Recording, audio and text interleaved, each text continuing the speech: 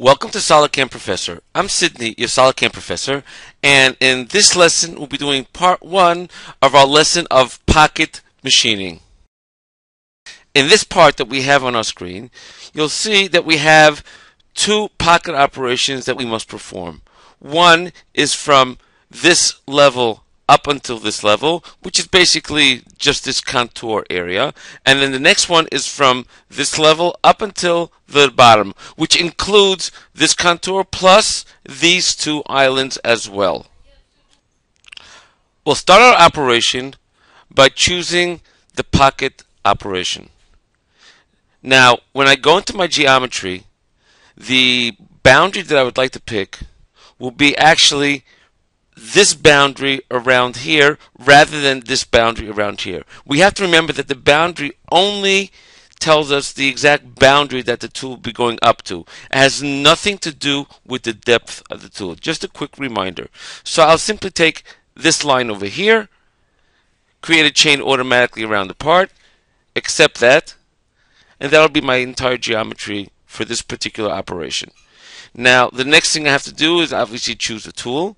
The tool that I will be using will be a 10 millimeter end mill that will be going around the part itself. The next, I go into my levels. Now my upper level will be this surface over here, and my pocket depth will be up until this step over here. Now let's go into our technology area. In our technology area, we'll start off with the type of cut that we would like to do inside our part itself. We have the first option that we have as the default really is contour where actually works according to the shape of the pocket itself whether it can be from the outside in or from the inside out. Another option we have is hatch. Hatch simply goes back and forth in the part itself. There's one other option over here which can be useful sometimes. It's hatch plus finish. What that does is simple. The problem with hatch sometimes is that when you go from one direction, then go back to the other direction, and then go over, there's usually an area which leaves a little bit of a sharp corner over there which has to be machined out. So what the hatch plus finish does is simply after it finishes that pass, it'll simply go around once, cleaning out all those sharp corners. In our case, we're going to use the option of contour. Now, as you go further down, this area you'll note is grayed out.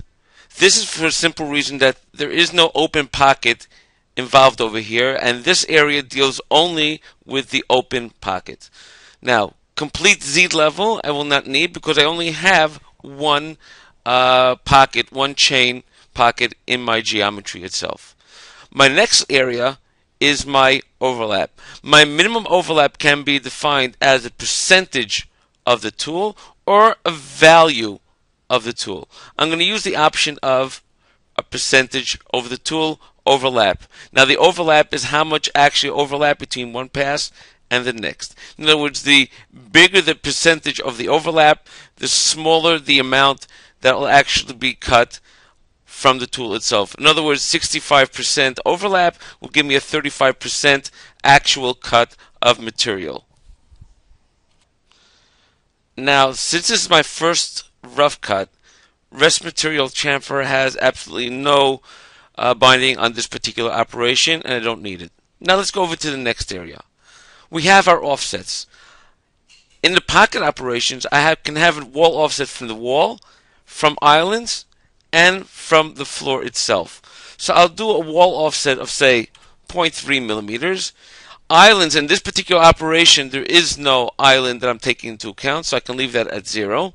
And the floor, I'll leave that at 0.15 millimeters. Now, in my finish area, I would like to do a finish on the floor only with this tool.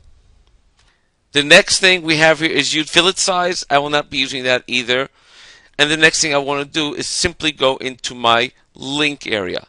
Now, in my link area, I have my ramping. Now, the ramping is as follows. If I choose none as my ramping, the tool will go straight in at the point from where where it has to start inside the material itself. If I were to do vertical, then vertical would say, okay, the tool is starting at a p- specific position, and I'll put my part over the specific position, but I can say I want it to start over there instead. And then I'll simply say, okay. That's what vertical. But it should be noted that when I do vertical, that the tool will go from that area once it gets to the bottom straight to the area where it has to do its machining and then start its machining in that area. This is sometimes good when my tool is going down near an island or near a wall and I don't want to be that close to the area when it goes down. Now another option we have here is also angle where I actually can control the angle of my descension to go actually going down in an angle the part itself. And we also have helical where it goes in a uh, helical fashion into the part itself. In this particular case, right now, I want to choose none. Going down, actually directly in the area into the pocket where it has to start.